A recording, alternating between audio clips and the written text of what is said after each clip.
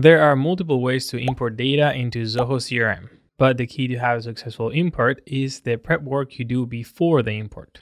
This normally starts on a spreadsheet. In this case, we have one spreadsheet with three tabs. One has accounts, the next one contacts, and the last one has deals. In the account spreadsheet, we have basic information about the accounts, organizations, or companies that we want to add to the CRM. It is important to notice that all the accounts' name had to be different. There should not be different accounts with the exact same name. In the contact spreadsheet, we have information about all the contacts, including the name of the account they are related to. As you can see, several contacts can be related to the same account. In the deals spreadsheet, you can find information about the deals we have with our contacts and accounts. Each deal is associated with a contact's email address, as well as with the account name related to the contact.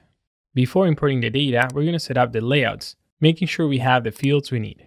So let's open the CRM settings and open the deals layout. In the spreadsheet, there's a field called type that is not in this layout. Let's add it. Name is going to be work type. This is a drop-down field, so let's add the options. Consultation, implementation, and development. Just like that, you can add as many fields as you need. All the field types have a different purpose, so you should understand what each one is for before modifying the layout. For example, I saw many people using multi-select fields when the best option was to use a pick list. Same with date versus date time fields. Depending on which one you choose, you will be able to use different features in the CRM, like triggering workflows based on a date or time. All right, let's save this layout. Now let's go to the accounts module. Here we're going to modify the account name field. We don't want to allow duplicates, so let's select that option. We are doing this because the account name is the only field that we're normally going to have available to link the account with the contacts and the deals. Remember, we are setting everything up to import data to the CRM correctly. All right, click on Save and Close. Okay, now we're going to import the data. I like to do it from each module individually. First, let's start with accounts. Click on this arrow and then on Import Accounts. I have all the spreadsheets I'm going to use on my desktop, so I'm going to drag and drop the accounts spreadsheet. Next, in this window, we're going to select both, so we add new accounts and update existing accounts based on the account name. Now we have to map the fields. Company name is going to be account name. The other ones were mapped automatically, but you should always double check. We're also going to add a tag to the accounts we're importing. For this, go to Assign Default Value. Search for the field tag. And we're going to create a new tag called Import Demo. Let's click on Next. And this message is saying that we didn't map a field from the spreadsheet. The field is the ID, which we don't need.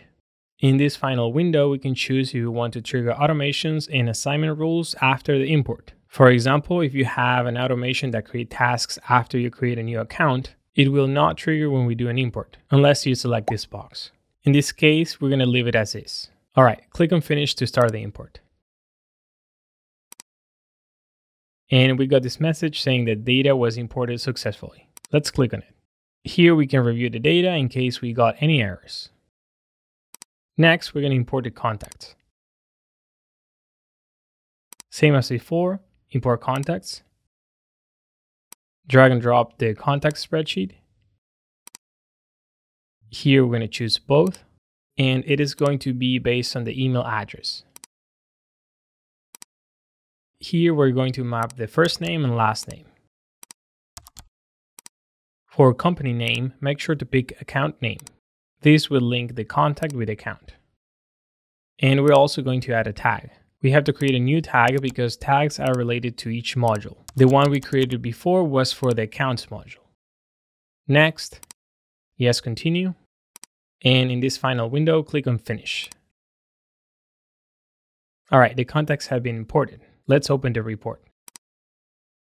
Everything looks good, so let's close this. Now we're going to import the deals. So import new deals, drag and drop the deals spreadsheet, in this case, we're going to add all deals as new. I know all of them are not in the CRM, so we don't need to update any records. Now let's map the fields. Deal name is deal name. Type is the field that we added to the layout called work type. Primary contact is the contact name. Make sure to use the email. And company name is account name. Make sure to use the account name and not the account ID. We are not going to add any tags, so click on next. And we got an error. The field stage is mandatory, but we didn't map it. To fix this, let's go to the Assign Default Value tab. The field is stage, and the value is value proposition. Next, and click on Finish. We got the notification, so let's see the report.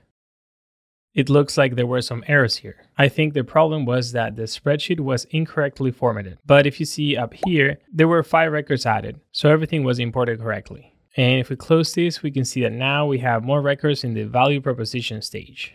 Let's open a deal that we just imported. Here we can see that it is linked to a contact. And if we scroll down, we can see that it is also linked to an account. If for any reason the import went wrong, you can undo it. Go to the settings and then import. On the tab import history, you will see all the imports that you have done so far. To undo it, hover over it and click on undo import. You have 30 days to undo an import. After that time frame, you won't be able to undo the import.